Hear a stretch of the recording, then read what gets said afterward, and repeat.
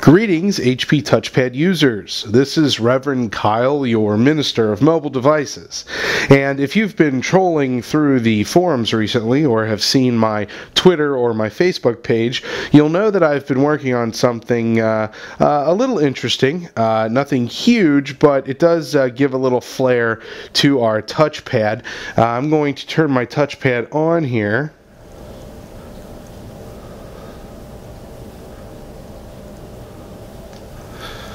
And you'll notice that when MoBoot comes up, it's not quite the same MoBoot you're used to seeing.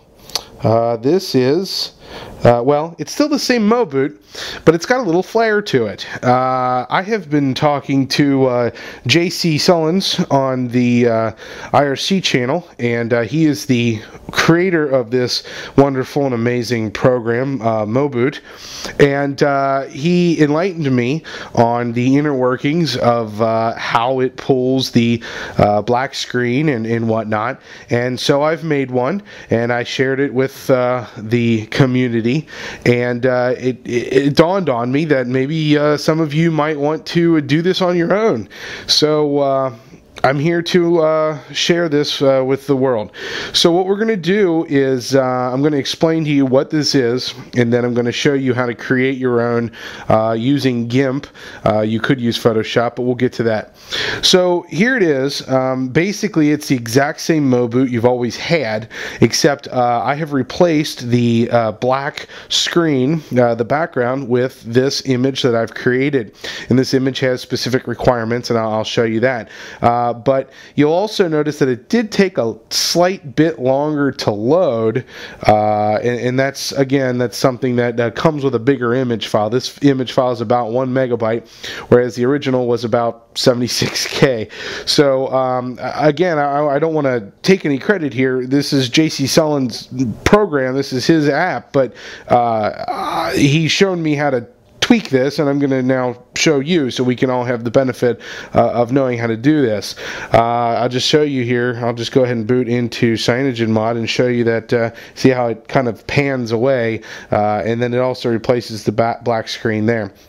So that's what we would expect to do. So let's go ahead and get started. Now, obviously, I can't expect everyone to have Photoshop.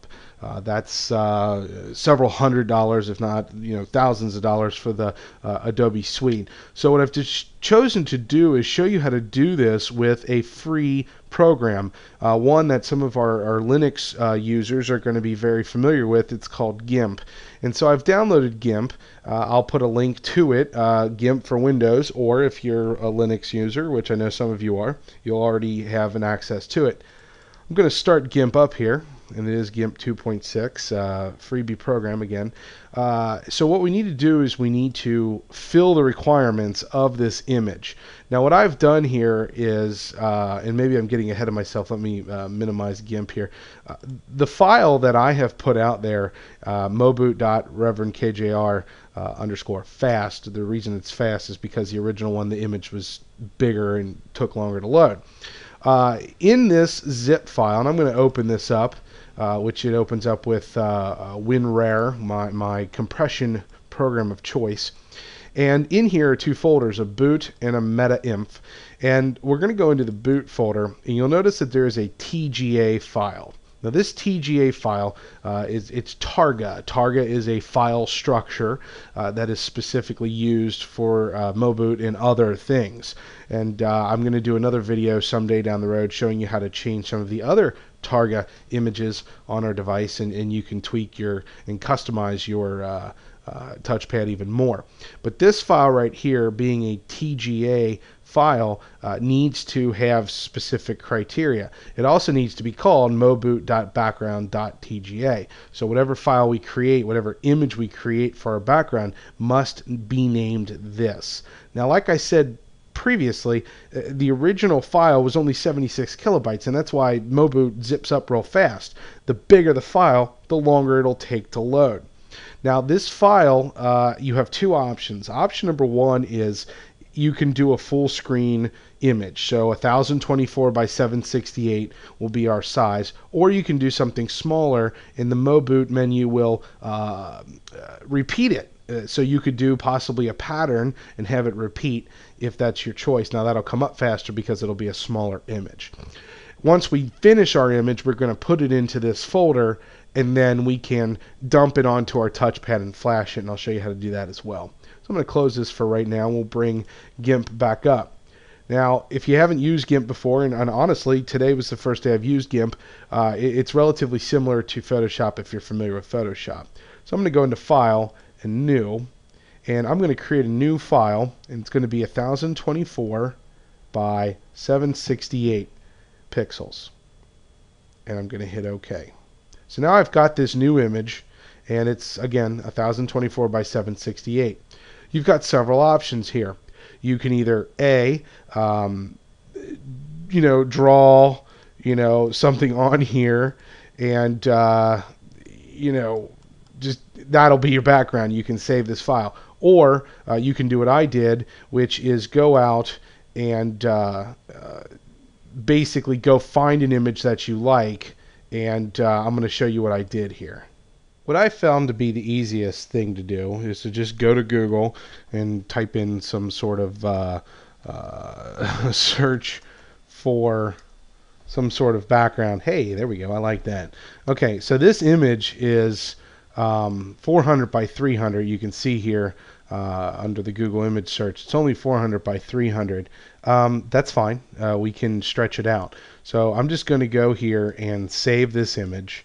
Now, obviously, I don't need to tell you about, um, you know, copywriting and all of that. That's, you know, I'm, I'm not your parents and I'm not the cops. So, uh, okay, so we've got that file now and it's on my uh, desktop uh, somewhere. And so I'm going to actually, I'm just going to create, uh, just do a new one here. 1024 by 768. Okay, we'll get rid of this one. Don't save. Okay. And uh, I'm actually going to also open the new one that I got. Now, obviously, uh, it would help if I knew what I called it or what it was called.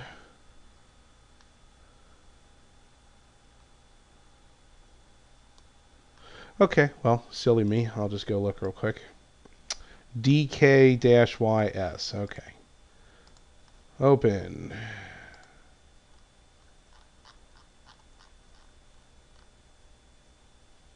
It also would help if I go to desktop. There it is. Okay, so on my desktop, there's the image file. And uh, I'm going to go ahead and open it. And here it is. And so it's teeny tiny, and we need to put it over here. So I'm going to select all, and I'm going to edit and go to copy. And I'll close this now don't save. And then I'll go to edit and I'll go to paste. I'm going to maximize this here. Now, the goal is, is to get this that size. And so what we can do is we can actually use the uh, the move here, the move tool, and I'm going to move it up to the very top. And then I'm going to use the scale to stretch it. And I'm going to stretch it out. And so I'm just going to drag it here. And I want to fill up the white space. And then when I'm done, I'll hit scale. Okay, so now this fills up my entire area. Uh, so I'm going to now, whoop, so now I'm going to go in, close this here. Just move this out of the way. I'm going to go to File, and I'm going to do Save As. Now this is the important part. We know that we need it to be called moboot.background. And we want to save it into, well, somewhere obvious that we know where to get it. And where it says select file type by extension, I have to go look for Targa. And it's Targa image with a TGA extension. And I'm going to hit save and it might come up and say, well, wait a minute, we can't do that, or we have, so you can either merge or flatten the image. I just always flatten, and then uh, I hit export. Now, here's an important part. RLE compression. We do need to make sure that that's checked off, uh, but, but I have absolutely no idea why. I'm imagining that that makes it a smaller file.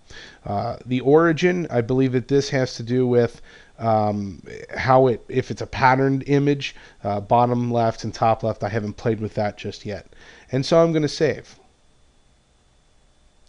And that should be it. So now I'm going to go to my desktop and I have now a MoBoot.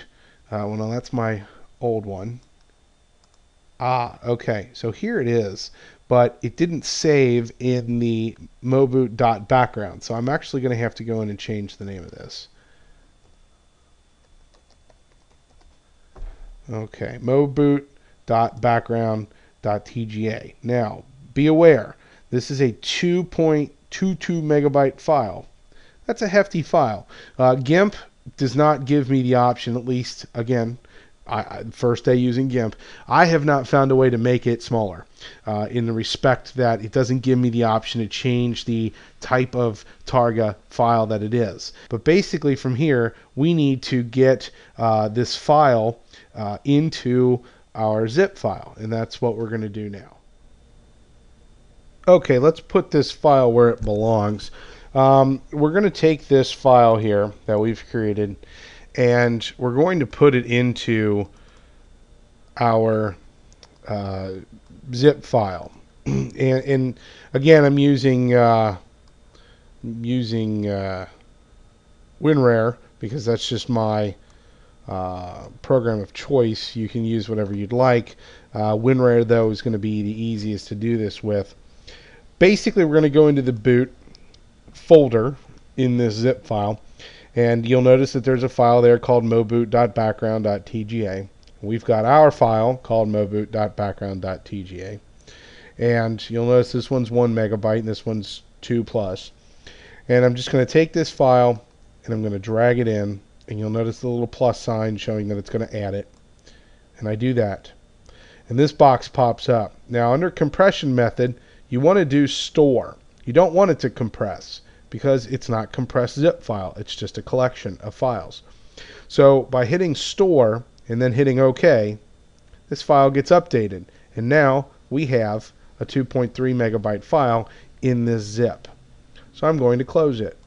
I'm also going to rename it because the last thing I want to do, and it's moved it over here, uh, the last thing I want to do is replace the already awesome one that I've created. And so I'm just going to call it, you can call it whatever you want. I'm just going to call it moboot your name. So there's your own personal moboot file. Now, we need to put this onto the touchpad. And so, uh, what I'm going to do is I'm actually going to flip over to the uh, I'm going to flip over to the touchpad. Uh, well, first I'm going to copy this onto the root of my touchpad, uh, which you really don't need me to show you how to do that.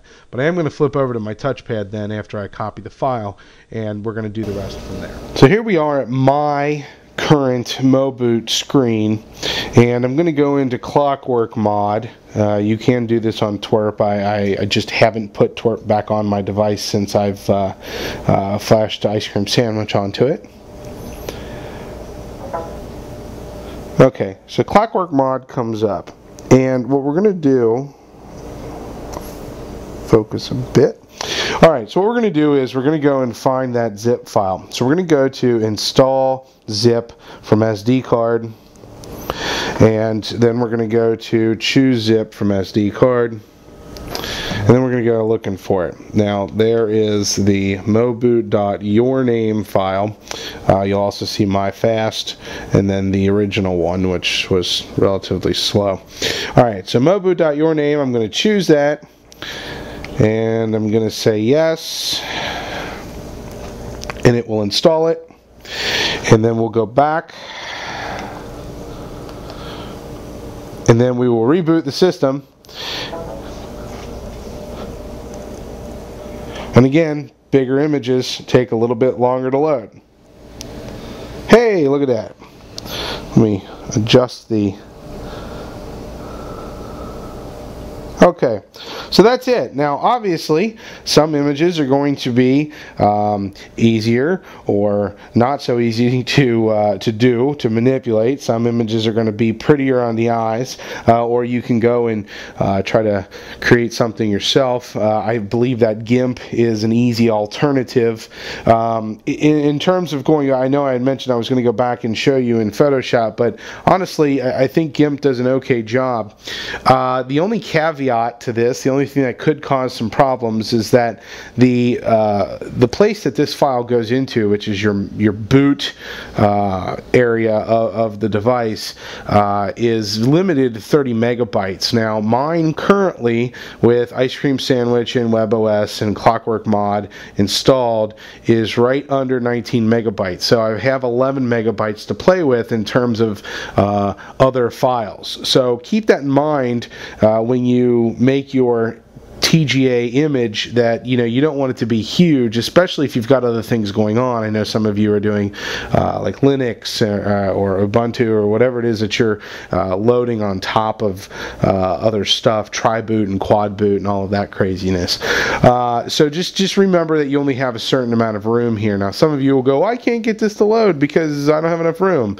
Uh, I, I, do show you in your in another video on my channel to on how to go in and install Internalz Pro under WebOS and, and get rid of some of the nonsense you don't need.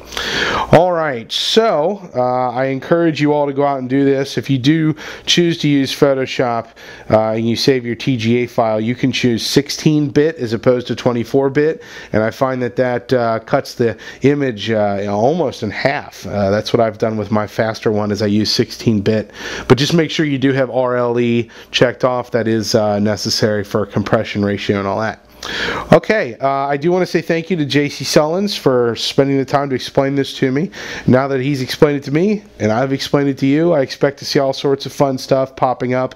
I do encourage you to share uh, with the community any any fun uh, tweaks that you do, and uh, everybody benefits from that sort of thing. So this has been Reverend Kyle showing you how to uh, theme or tweak uh, your MoBoot menu.